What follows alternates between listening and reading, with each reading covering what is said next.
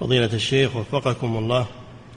يقول السائل بقايا الطعام التي تتبقى بعدنا في البيت ولا تكون صالحة للإنسان هل يجوز لي أن أضعها عند برميل الزبالة؟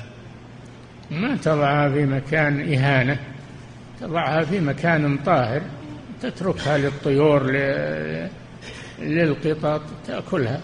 نعم حطها في مكان طاهر وخلها للطيور أو للبهائم تأكلها. نعم.